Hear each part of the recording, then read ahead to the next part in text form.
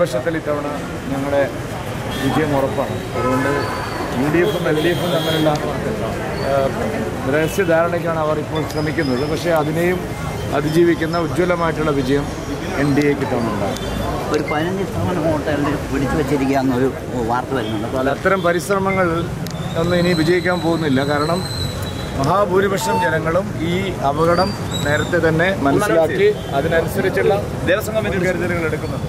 Beleza?